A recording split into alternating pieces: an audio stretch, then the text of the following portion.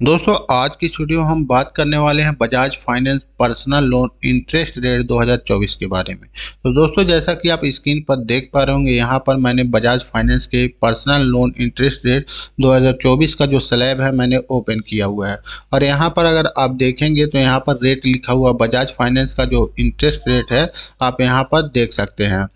तो यहाँ पर इंटरेस्ट रेट में देखेंगे तो यहाँ पर लिखा हुआ है ग्यारह परसेंट से बत्तीस परसेंट लग सकता है यहाँ पर इंटरेस्ट तो ये देखिए यहाँ पर जो इंटरेस्ट अमाउंट दिया हुआ है ना ये लोन के अमाउंट पर डिपेंड करता है आप लोन कितना ले रहे हैं उस हिसाब से यहाँ पर रेट ऑफ़ इंटरेस्ट लगता है उसके बाद अगर आप यहाँ पर देखेंगे तो यहाँ पर लिखा हुआ प्रोसेसिंग फ़ीस तो आप जो लोन लेंगे उस पर एक प्रोसेसिंग फ़ीस भी लगता है तो यहाँ पर वो प्रोसेसिंग फ़ीस कितना लगेगा यहाँ पर बताया गया है तो आप यहाँ पर देखेंगे तो यहाँ पर प्रोसेसिंग फ़ीस दिया हो three point nine three percent आपका जो लोन अमाउंट होगा, उस पर इतना प्रोसेसिंग फ़ीस लगेगा। उसके बाद अगर आप देखेंगे तो बजाज फाइनेंस का जो पर्सनल लोन है, उस पर फ्लैक्सी फ़ीस भी होता है। तो फ्लैक्सी फ़ीस जो है, कितना लगेगा? तो अगर आप यहाँ पर देखेंगे, यहाँ पर दो लाख का अगर आप लोन लेते हैं तो आपको उन्नीस सौ निन्यानवे फ्लैक्सी फ़ीस देना होता है। तो यहाँ पर आप देख सकते हैं, यहाँ पर और भी बहुत सारे फ्लैक्सी फ़ीस दिए हुए हैं। आप इनको बारी बारी से पढ़ सकते हैं। यहाँ पर बारह हज़ार नौ सौ निन्यानवे तक का आपका जो फ्लेक्सी फ़ीस है यहाँ पर दिया हुआ है। और यहाँ पर देखेंगे, यहाँ पर दिया हुआ है लोन अमाउंट भी मतलब तीस लाख से ऊपर का अगर आप लेते हैं लोन तो यहाँ पर फ्लेक्सी फ़ीस जो है बारह हज़ार नौ सौ निन्यानवे रुपये है।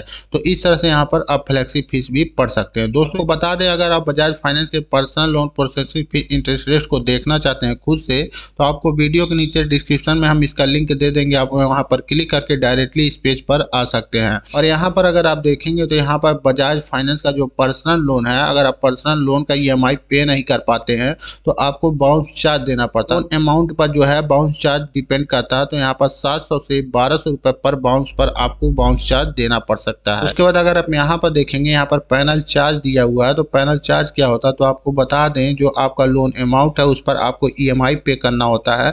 अगर ईएमआई को पे करने में आप देरी करते हैं तो आपको उस पर चार्ज देना होता है। चार्ज कितना लगेगा तो यहाँ पर अगर आप देखेंगे, आठ से बारह रुपए यहाँ पर दिया हुआ। मतलब अगर आप लेट करते हैं ई को देने में तो आपको आठ से बारह रुपए यहाँ पर एक्स्ट्रा देना पड़ सकता है। अब अगर आप यहाँ पर देखेंगे तो यहाँ पर हमने बता दिया है बजाज फाइनेंस का जो पर्सनल लोन का फ़ीस होता है कितना होता है इंटरेस्ट रेट उसका ग्यारह से बत्तीस परसेंट होता है। आप जो लोन लेंगे उस लोन के अमाउंट पर निर्भर करता है रेट ऑफ़ इंटरेस्ट कितना होगा।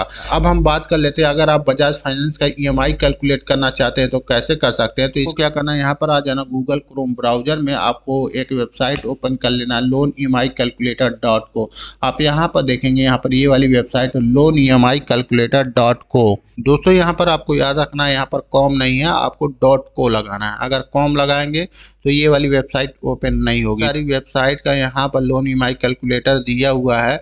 ऐसे ही अगर आप बजाज फाइनेंस का आप लोन ईएमआई कैलकुलेटर चेक करना चाहते हैं तो आप यहाँ पर देखेंगे तो यहाँ पर बजाज फाइनेंस का लोन ईएमआई कैलकुलेटर दिया हो। आप यहाँ पर क्लिक कर लेंगे और क्लिक करने के बाद आप यहाँ पर आ जाएँगे और यहाँ पर देखिए आपको लोन अमाउंट इंटर करना होता है। जैसे यहाँ पर दो लाख है तो हम इसको तीन लाख कर देते हैं, यहाँ पर तीन लाख कर देते हैं।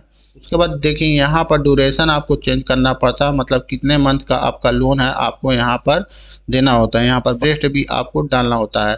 तो बजाज फाइनेंस का हम ग्यारह परसेंट या बारह परसेंट यहाँ पर हम रख देते हैं इंटरेस्ट रेट उसके बाद अगर आप यहाँ पर देखेंगे तो यहाँ पर आपको साइड में योर मंथली ईएमआई कितना होगा, आपको यहाँ पर शो हो रहा है।